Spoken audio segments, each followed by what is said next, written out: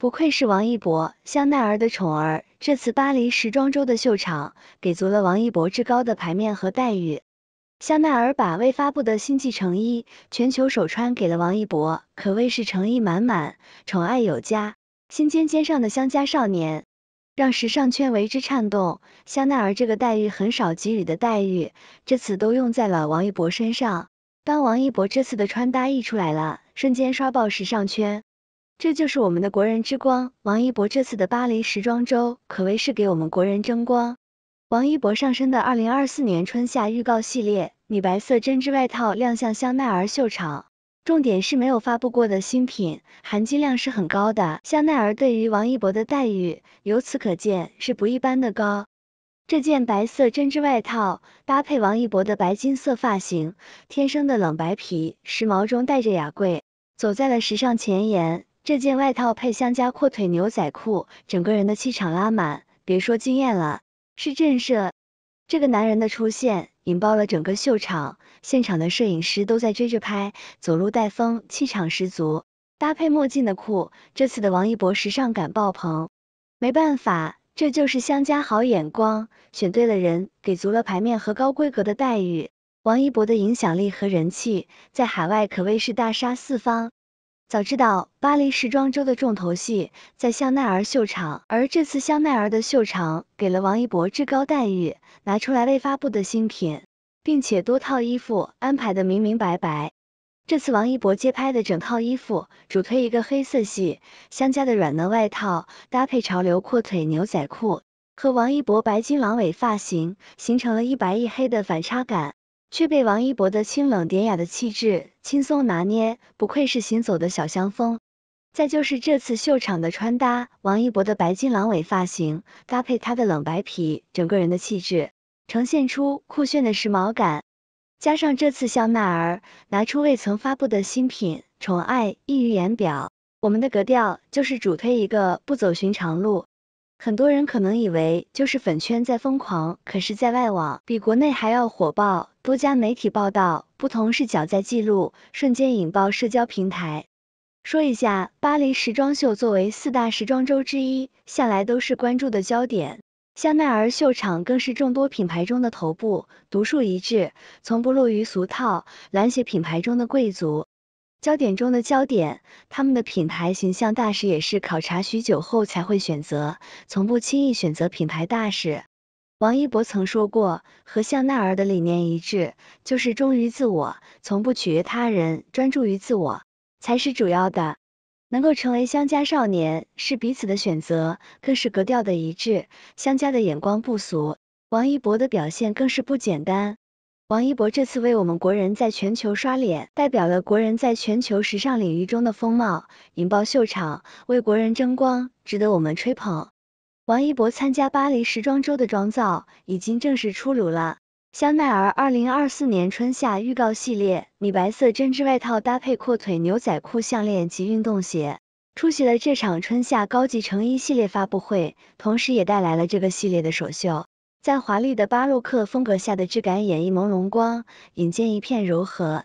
很显然，王一博将这场还未正式发布的二零二四春夏预告系列提前演绎。一般来说，春夏预告系列得到次年一月份才发布，这才十月份，王一博就已经穿上身了，属于超超季。这才是品牌形象大使的出众待遇。王一博是香奈儿家的新尖宠，果然名不虚传。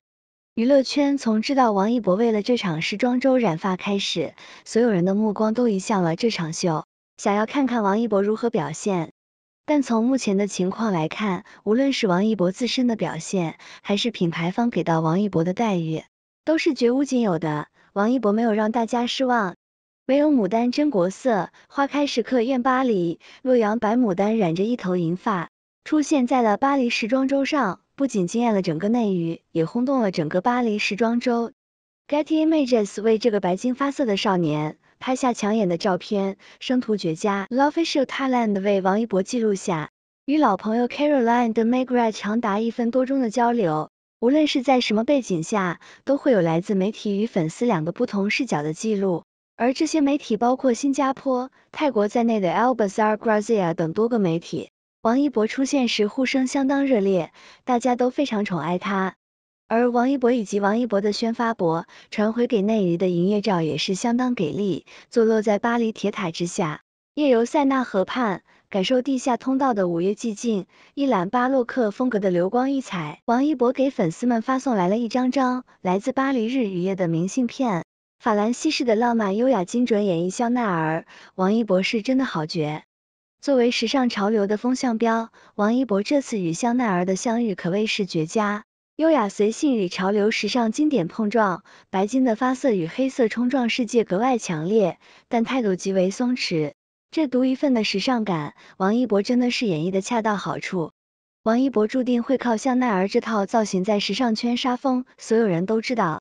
香奈儿对王一博有着独家宠爱，即便是在疫情时期，王一博想要佩戴胸针参加一个红毯，香奈儿都能派人用专机将真品珠宝空运到王一博的手上，更不用说另外超越其他品牌大使的待遇了。而王一博也没有让品牌方失望，他对时尚的理解与把握，真的是让香奈儿在巴黎时装周的诸多品牌中大放异彩。还是要感慨一句，王一博上身的这件衣服是二零二四年春夏预告系列全球首曝光，也是直接跨过早春度假系列的超超级全球首穿。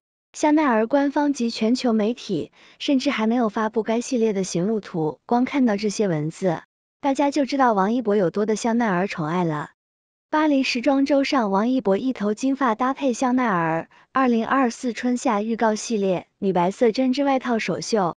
也许在不了解品牌和时尚的网友看来，王一博穿的衣服仅仅是他作为香奈儿品牌大使应得的待遇。可实际上，单凭王一博的这件衣服，他就已经将巴黎时装周拔高到了一个绝无仅有的待遇。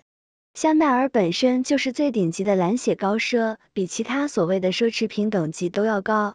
很多牌子都是国外的代言人或者大使的待遇更好，即便是内娱艺人与韩娱艺人一同出现。品牌方捧在手心里的甚至是韩娱艺人，但王一博就是在最顶尖的品牌手中拿到最好的待遇，是唯一一个穿着超超级衣服的人。最顶级的顶奢品牌给到的最顶级的待遇，超出全球其他的代言人。无论是品牌内还是品牌间，王一博身上的外套是香奈儿未发布的超超级系列首穿。不管是横向比同品牌，还是纵向比整个时装周，王一博得到的都是最高待遇。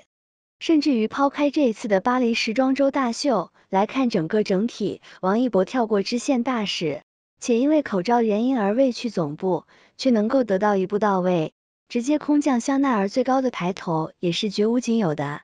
香奈儿一九三二真品珠宝，全球仅有四人佩戴过。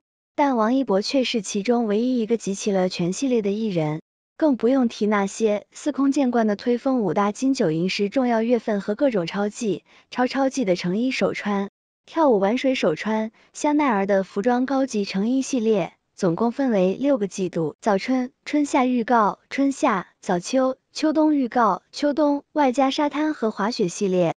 王一博早就已经是二十四春夏预告和二十三滑雪两个系列的全球首创面孔。香奈儿的预告系列从不走秀，但是工艺价值及时装的含金量都极高。季度之分春夏秋冬序列从不变化，预告比早春超一季，春夏比预告超一季。早春十一月中旬上市，预告一月中旬上市，而预告系列的行路图。最早也要十二月份流出，王一博能够在十月初就穿上这从未公布的成衣，香奈儿给到王一博的待遇绝对是极高的。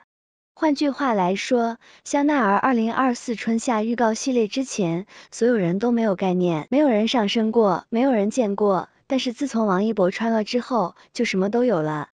创立百年，在服装行业首屈一指的时尚媒体 WWD 在香奈儿秀场的专访文章中。特别一点文字分享了王一博看秀的感受和对大皇宫临时秀场的喜爱，还提及王一博这个帅哥想好好品尝法国红酒。王一博就是 WWD 专访中唯一提到的一位男明星。王一博本人的魅力光芒万丈。香奈儿二零二三早春首穿，二零二三春夏预告首穿，二零二三春夏首穿。二零二三秋冬预告首穿，二零二三秋冬首穿，二零二四春夏预告首穿。这才是王一博在香奈儿得到的出众待遇，真不愧是品牌方放在心尖上的香饽饽。不成欧不成美，安安心心在国内拍戏，但待遇却是最顶的。